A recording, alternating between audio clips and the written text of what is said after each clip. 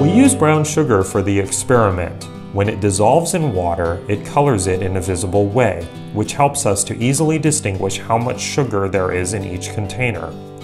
We put 2 teaspoons of sugar into the first container, into the second, half a teaspoon, into the third, none.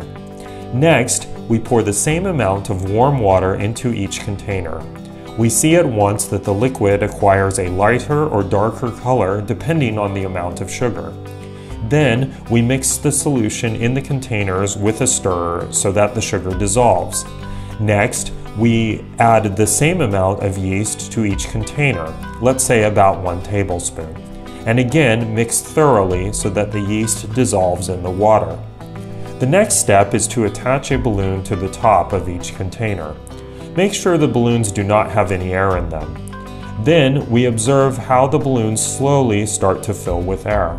In order to see the full effect, you should wait about 5 minutes. Once 5 minutes have passed, we look at our samples.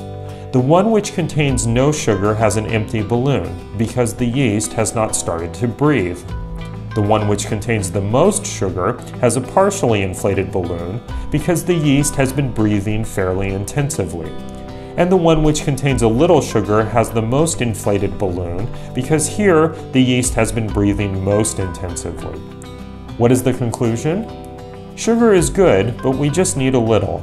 If we eat too much sugar and do not use up the energy which it gives us, then the excess turns into fat in our body and we become obese.